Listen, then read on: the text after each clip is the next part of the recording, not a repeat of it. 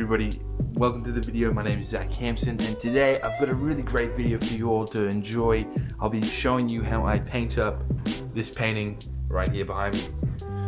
Hope you'll enjoy. See you in there starting the painting off how I usually would start off a painting. Uh, if you've watched any of my other videos, you kind of know the process of where this is going, right? So I start with this sort of scumbled sort of sketch, trying to find my composition, trying to find the size of things relative to one another, right? Just putting in the most basic sort of indicators of form with this sort of sketch. It's just a wash of burnt burnt umber here that I'm working with a bit more medium to make it a bit looser so I can sketch with it. And then straight on from there, I'm just putting in a wash, right? Because we're working on stark white canvas, and that's for a deliberate uh, stark white uh, panel, sorry. And that's for a deliberate reason. Uh, the reason being that uh, I want to do some sort of fancy sort of wash. You can still see the back of the panel uh, behind the the wash. Uh, so it's it's fun to use that stark white and then use the wash as like a uh, you know how people would usually use a wash and do it all one color before they'll stain the canvas or the panel before they even start painting and stuff and that works great and stuff but when you want to use the uh, wash as a sort of uh, aesthetic device, if you want to use it like that, like I am here, uh, then you to start white and sort of build upon that. So then everything I'm doing in this first part is the wash, but I'm making it uh, a bit more like like I'm using it as this sort of finding the values, right? I'm finding the forms with the wash itself, right? So it also works. It works alla prima as well, and it works uh, in layers like I'm working here. And it works really great for layers, particularly because I can keep the wash.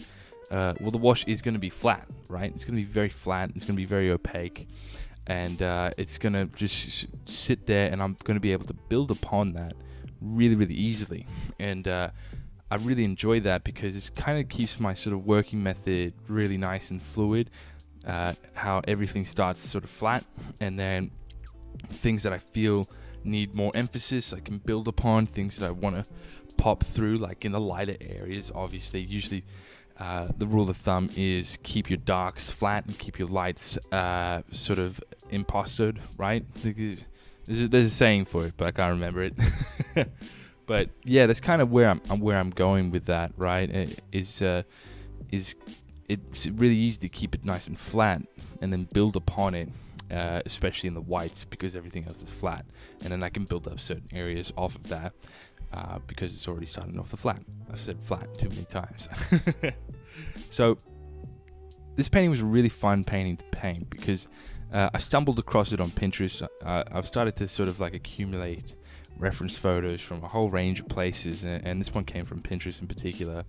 Um, and what I do with them is I like to take them and draw out like little thumbnails. Sometimes I'll change them lots, sometimes I won't change them as much, but I'll draw out little thumbnails of, of these reference photos and try and change them up, switch them up, make them look interesting.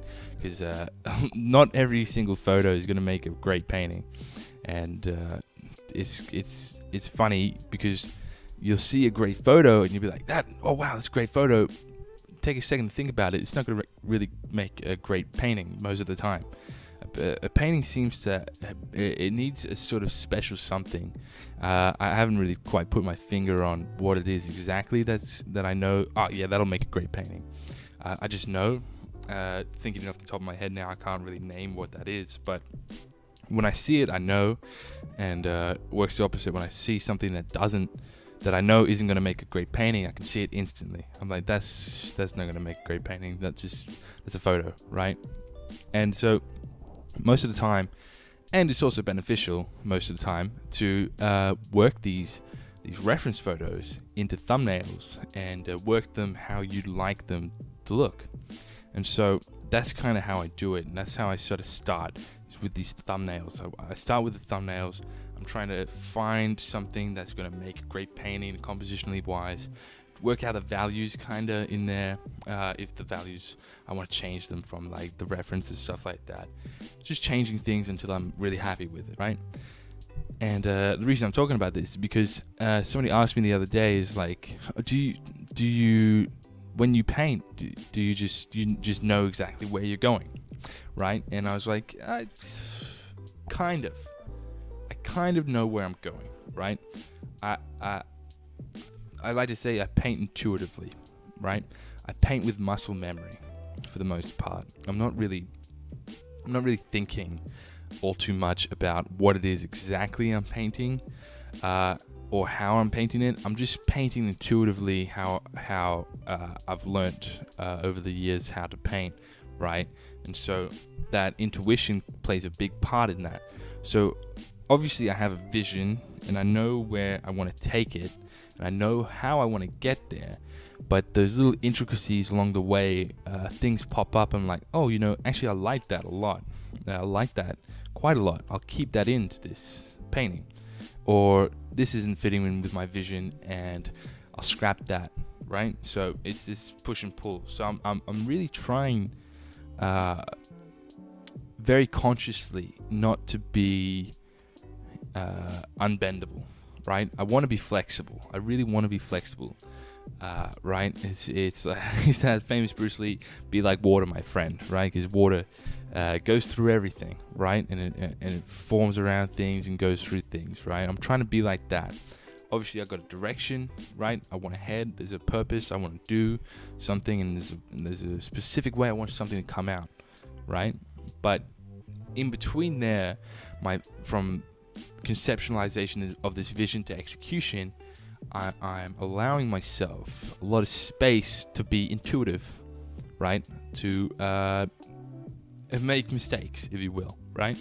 Uh, and sort of play around with that and, and see things that work, see things that don't, take things out that don't, see things that do, keep them in, sort of thing. And uh, yeah, that's kind of how how I sort of go about all my paintings and stuff.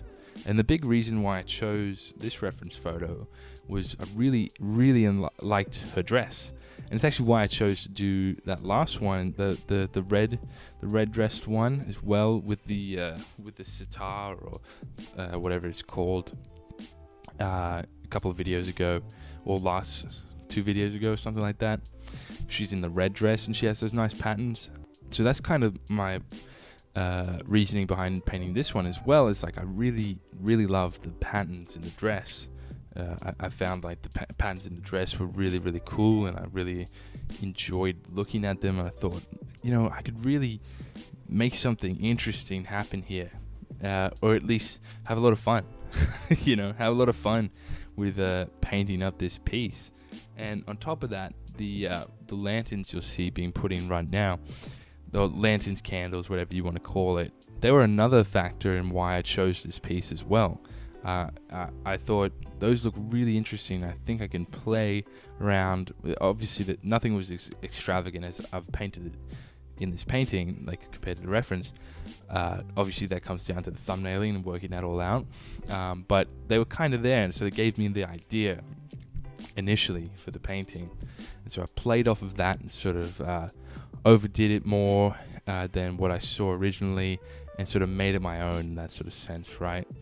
Uh, I had a lot of fun with them because they're able to add this this really nice something I've been really enjoying lately is adding this nice warmth to it and these candles these lanterns whatever you want they uh, added this beautiful warmth to the painting that I was able to then play with by putting in the cools, right? The cools of the outside behind her, the cools in the in the shadows, the, these nice like uh, these like really cold sort of blues, right?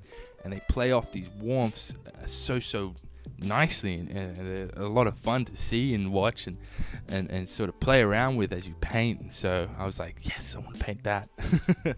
when I was thinking about that, so that was a big reason why I uh, saw it and I was like, oh, that was that was a big idea from the initial get go that I wanted to play around with. That I knew right off the bat that that's something I wanted to have in here, right? So the patterns and the, the sort of the, the light sources were kind of like my initial big ideas, right?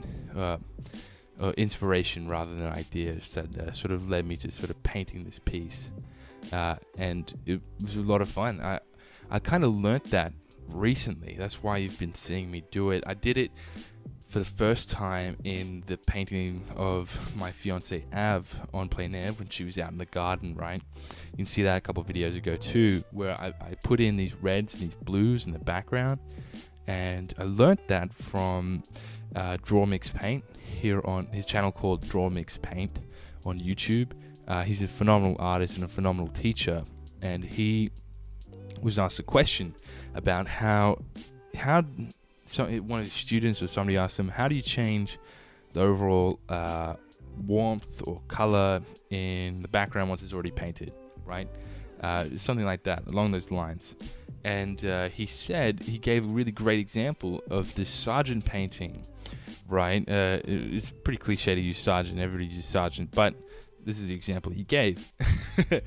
he gave this example of the Sargent painting where uh, he, there's this man, he's sitting by the uh, fountain, and in the background, it's got this really nice like hedge, this green hedge and stuff. And he zooms in. He's got a really high quality image of it.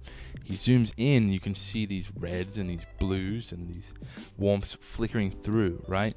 It's really interesting. And it really, when you step back from it, you see this like change, this feel of warmth and these cools in the painting just from those little dots and these dashes of these reds and these blues through it.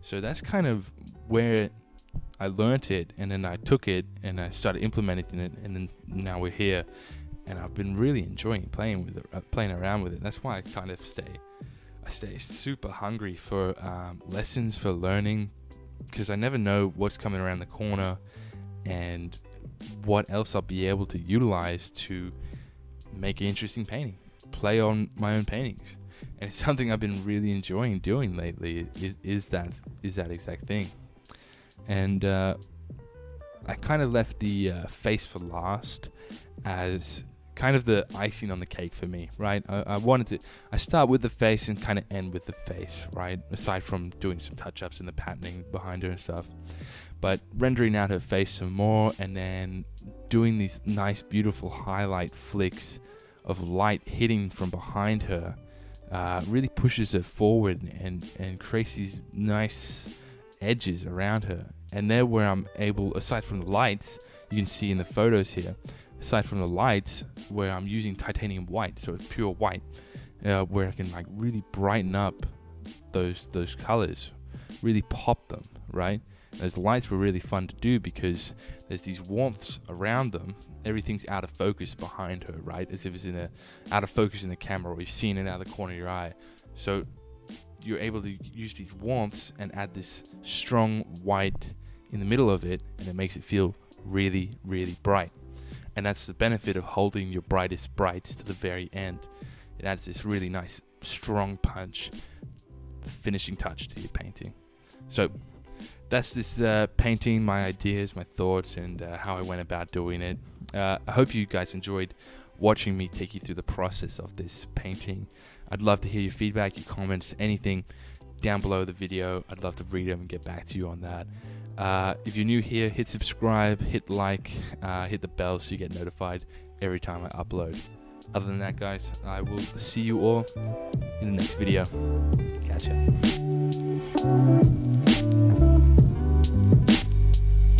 ya.